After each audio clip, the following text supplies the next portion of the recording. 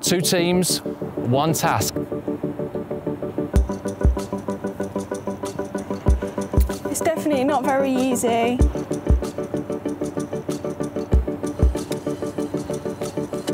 Oh, that is cool.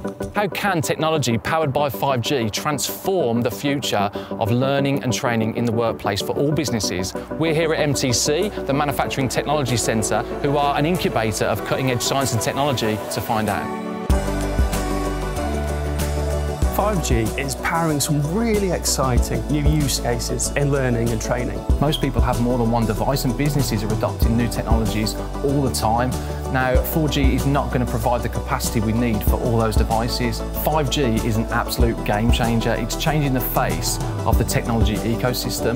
The HoloLens is a mixed reality headset from Microsoft. There are lots of applications for this tech, supporting an engineer remote in the field to helping your sales team get hands-on with their product. If you imagine 5G like the highway and all the other technology as cars, without the highway, they're not going anywhere. You need 5G as a platform to enable this digital transformation for businesses.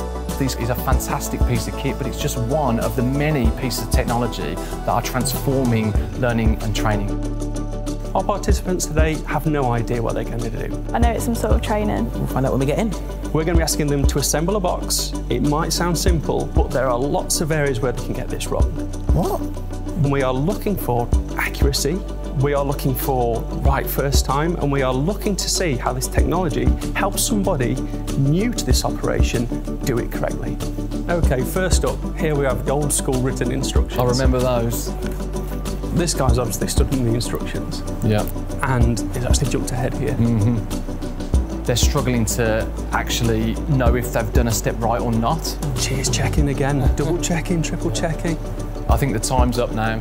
Gutted. Yeah, he did not look confident on that. I was sort of looking around for help, but knew that there wasn't. It was just frustrating more than anything. Didn't manage to finish it in the end, and I'm not entirely sure that what I've done was right. What was really interesting was that the paper-based team felt like they needed someone there. They needed someone to help them through it. Right, onto the HoloLens. We're actually using the digital caliper. This is where the HoloLens shows its connectivity.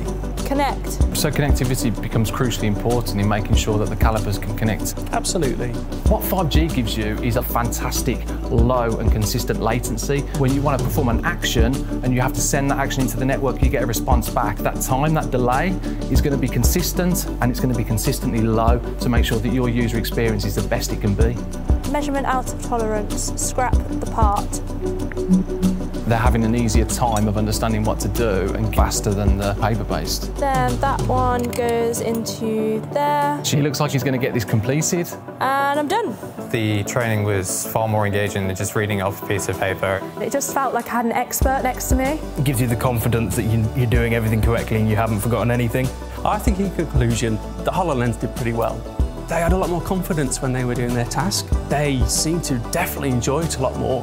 There's the enthusiasm there around the technology. I came here this morning thinking I really hope that mixed reality experience is going to come through on top, and it absolutely delivered.